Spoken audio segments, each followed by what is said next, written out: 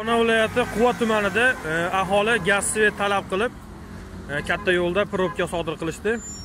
Чӣ тавре ки радиои озодлик ба навори видеоӣ ки дар сомонаҳои иҷтимоӣ паҳн гардид такя карда менависад дар шаҳри андиҷон сокинони маҳаллӣ роҳи автомобилгарди қуштепаро ки байни ноҳияҳои далворзин ва алтинкул мегузарад бубастанд. Дар навори видеои санаи 29 ноябр дар гурӯҳи фейсбук паҳн шуда намоён аст ки як тӯда одамон барои набудани гази табиӣ ва қувваи барқ роҳи автомобилгардро баста истоданд. Як рӯз пеш чунин намоиши эътирозӣ дар вилояти сирдарё ва қароқалпоқистон низ рух дода буд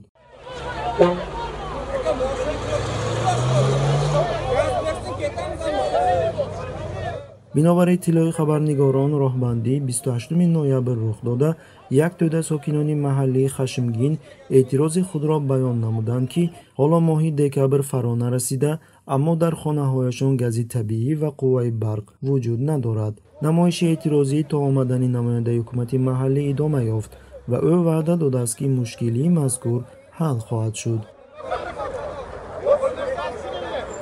ёдрас мекунем ки санаи 28 ноябр рӯзи гузаронидани намоиши эътирозӣ дар шаҳри андиҷон сарвазири ӯзбекистон абдулло орипов маҷлиси видеоселектории фаврӣ баргузор намуд ки оиди масъалаҳои таъмин намудани аҳолӣ бо қувваи барқ ва гази табиӣ бахшида шудааст. Электр билан газ билан таъминлайmiz deb mana hozir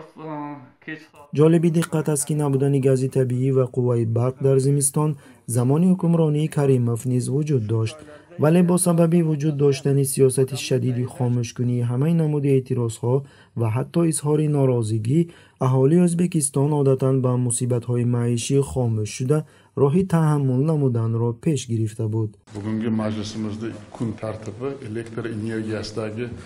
ишлар ahvoli мушоҳидон қайд мекунанд ки ҳарчанд мирзиёев гӯён тағйиротҳо гузаронидааст дар асл бошад тағйиротҳои мазкур табиати косметикӣ доранд бо вуҷуди ин дар кишвар муносибати аҳолӣ нисбати режим тағйир ёфт ва минбаъд мардум ба муносибати кӯҳнае ки аз тарафи ҳукуматдорон нисбаташ карда шуда буд таҳаммул намекунад. Горгазга аққа баққа қаттаб қоғозвозлик қиляпmiz